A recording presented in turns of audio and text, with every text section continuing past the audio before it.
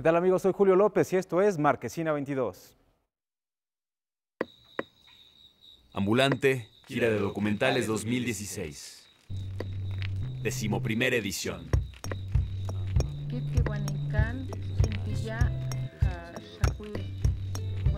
Del 31 de marzo al 2 de junio. Distrito Federal, Oaxaca, Puebla, Coahuila, Michoacán, Jalisco, Baja California, Veracruz. Una semana en tu ciudad. Proyecciones, invitados especiales, pláticas, mesas redondas, talleres, clases magistrales, foros. Evoluciona, vecina documental. Descubrir, compartir, transformar. Transformar. Yo sí veo documental. ¡Que no baje!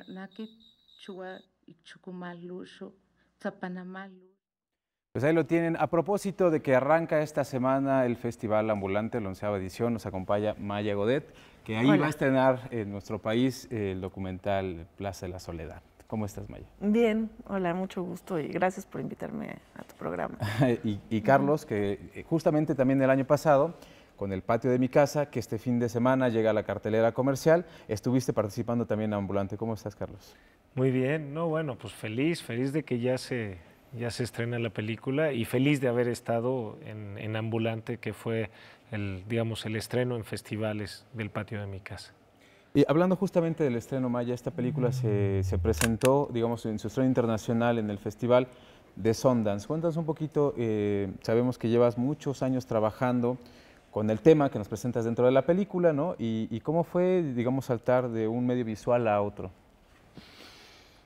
Bueno, por suerte empecé con este, con ellas, que ya les tengo confianza y ahí como nos llevamos, como que me siento muy en confianza y jugamos mucho. Yo, yo cuando hago fotografía también juego mucho con la gente que fotografía y también platico mucho, entonces, y llevé como la misma cámara, entonces como de alguna forma seguir como los mismos patrones, fue como un poquito como hago fotografía, entonces en eso me sentí cómoda. Y después, este, bueno, pues sí es al final otro diálogo, ¿no? Que es ya la construcción, ¿no? Este, y ahí pues estuvo, lo editó Valentina Leduc, que pues estuvo muy lindo trabajar con ella, fue como un año y medio que estuvimos trabajando. Bueno, Carlos también ayudó en, nos dio muchos consejos en la edición y también estuvo la productora, los productores, Marta Sosa. O sea, hubo un muy buen equipo que eso me ayudó mucho también a pasar de un lenguaje a otro. Entonces, pues me sentí muy contenta y muy cómoda, sí. Llevas eh, más de 20 años eh, retratando uh, mujeres eh, que se dedican al sexo servicio en, justamente en esta parte de la Ciudad de México, pero a partir de qué surgió como esta inquietud de, sabemos que has retratado muchas otras cosas, ¿no? Y que este tema también lo has llevado a otras partes de, nuestro país, pero ¿cuándo surgió, no sé si, si haya como un punto clave donde surgió como la necesidad de empezar a retratar esta cotidianidad de estas mujeres? Pues bueno, yo eh, sin querer empecé a trabajar en, en el sexo servicio, digamos, empecé a trabajar con ellas. No era lo que yo quería hacer, sino fue como una cosa que se fue dando poco a poco. Y luego ya me empezaron a invitar a otros estados, o sea, he trabajado en las fronteras norte y sur. Pero había una foto que a mí me gusta mucho, que es Juanita, una mujer mayor, que, tiene, que está en un hotel con un cliente que ya llevaban más de 50 años juntos. Y a partir de esa foto vi que, primero yo no sabía nunca que iba a tocar ese tema de mujeres mayores en el sexo servicio. Pero cuando estaba ahí trabajando, eh, me presentaron a Juanita y empecé a ver que había varias señoras mayores y empecé a ver la relación que tenían como los hombres, que llevaban como muchos años con la misma sexoservidora y la relación como de varios años y una cierta fidelidad en algunos casos, ¿no? Con las mujeres y ir con la misma mujer.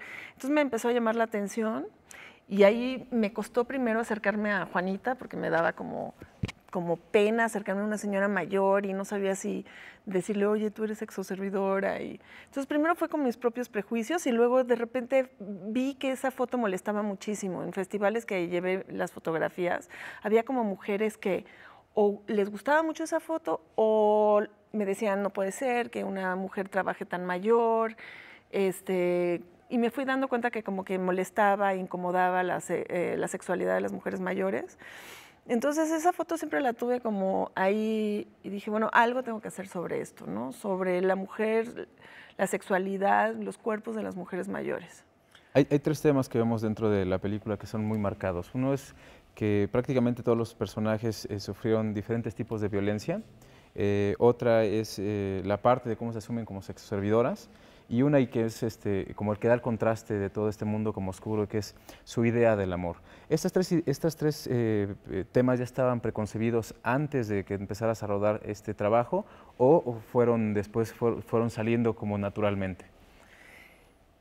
Bueno, lo, lo chistoso de la fotografía, como yo vengo de la fotografía, es que siempre han sido temas, a lo largo de mi fotografía siempre han sido esos temas los que me han interesado, entonces los he abarcado de distintas formas.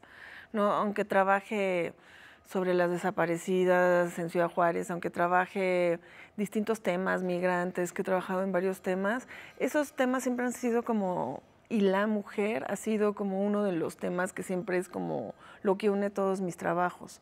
Entonces al final son como mis preocupaciones, ¿no? O sea, este, es como una continuación, yo creo. ¿Y con esto concluirá esa parte o este tema, con esta película, con este documental? La exploración en el tema de las mujeres en el sexo servicio en la tercera edad?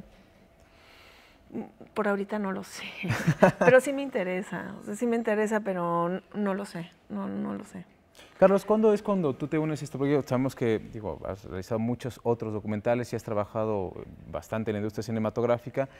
Además, formas parte de eh, la, Sombra del Guayabo, ¿no? que es, una productora también. ¿Cómo, ¿Cómo, te sumas? Y supongo que es a través también de esta, de esta empresa. ¿no?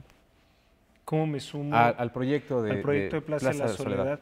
Bueno, el proyecto eh, de Plaza de la Soledad, este, Marta Sosa se acercó a Maya y Maya Marta Sosa y generaron este proyecto como productora y como directora. Y Marta es este, la productora también de mis películas y somos socios en, en la compañía La Sombra del Guayabo. Entonces fue muy natural que de repente cuando había necesidad de revisar algunos temas, algunas cosas, pues yo me pudiera sumar como una asesoría, una voz al trabajo que estaban haciendo Marta y Maya. ¿Qué tan complicado, eh, digamos, ya lo vivió en carne propia Maya, eh, es levantar un proyecto ¿no? económicamente? Lo hemos visto, ¿qué tan complicado fue levantar el proyecto, por ejemplo, del patio de mi casa, ¿no? que sabemos que también lo desarrollaste a lo largo de varios años? Pues mira, levantar un proyecto es siempre difícil.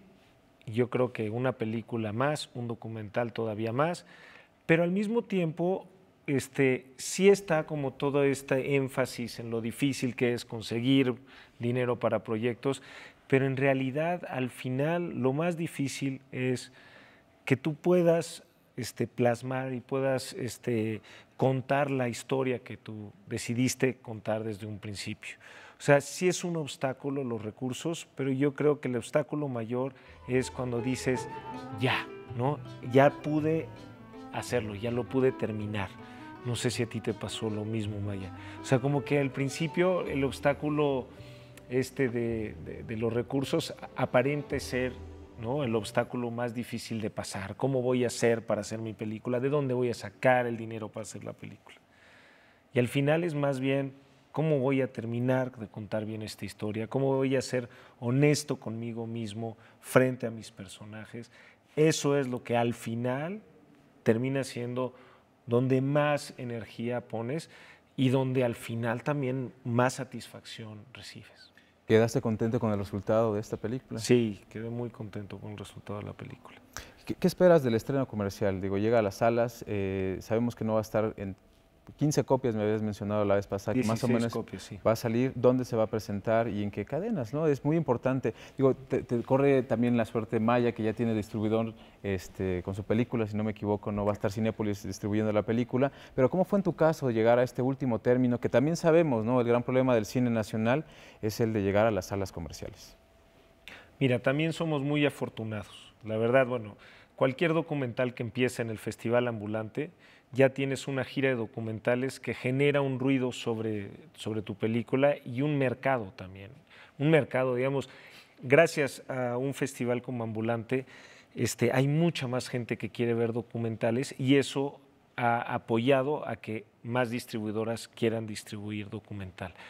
Sin embargo, sí tenemos una visión realista de que al final nuestras salidas son del tamaño de las películas, ¿no? son salidas más pequeñas y que estás concursando en entras a una pista de carreras con Fórmula 1 y tú traes un bochito, pues, o sea, este, estamos ahorita con la segunda semana de Batman contra Superman y entra también varias películas grandes este fin de semana, pero yo creo que hay mucha gente allá afuera ¿no? que llega al cine y que no quiere ver estas películas grandes y que quiere ver otro tipo de cine. Y ahí es donde nosotros obtenemos nuestros espectadores. Yo creo que El patio de mi casa es una película este, para la familia, yo creo que es una película, un, un retrato esperanzador de México. Yo creo que hay mucha gente que quiere ver eso en lugar de otras cosas. Sí, es la historia de un hombre y su mujer que a través de sus recursos o de, sí, de, sus sueños de querer vivir, crear un mundo mejor, ¿no? Uno hace, se dedica a diseñar eh, casas de bajo presupuesto, mientras que su esposa también eh, diseña modelos educativos en comunidades indígenas y que además están como, digamos, pasando la estafeta a otro grupo, dejamos, digamos, eh, pasando la estafeta justo a otra pareja para que continúen con su legado. Eso es un poco lo que trata este, el patio de mi casa, ¿no, Carlos? A mí me encanta ahorita cómo lo defines, Julio, porque mira, si cuando estás hablando de qué vas a dejar cuando te vayas de esta vida, o sea, cuál es tu legado, ¿no? De los padres a los hijos, o de los maestros a los alumnos, o del individuo a la comunidad, a la sociedad. ¿no? ¿Qué vas a dejar? ¿Y dónde está la satisfacción de haber dejado algo? Todos tenemos grandes maestros de vida y siempre estaremos agradecidos con ellos. Yo creo que el, patio de mi casa toca ese, ese tema de la transferencia del conocimiento. No del conocimiento entendido como una cosa académica y aburrida, sino yo, que ya tengo cierta noción del cine, me gustaría dejarlo a, otros jóvenes cineastas y yo poderles decir, miren, esto es lo que yo he aprendido y ahorrarles ahí un pedazo de, tiempo de aprender las cosas y que ellos a su vez lo sigan pasando. Eh, eh, Maya, nada más para concluir, ¿cuándo va a estar en la cartelera? Bueno, va a estar ahorita en Ambulante, chequen la, este, la cartelera de Ambulante, pero ¿cuándo se va a estrenar comercialmente? Eh, este? como a finales de este año, como noviembre, octubre, noviembre. ¿Te aventarías a hacer otro, otro trabajo documental, otro trabajo audiovisual como en este, en este estilo? Ay, pues sí, ya me gustó. se vuelve vicio. Ya, ya, ya estoy planeando uno, ya, en un mes empiezo.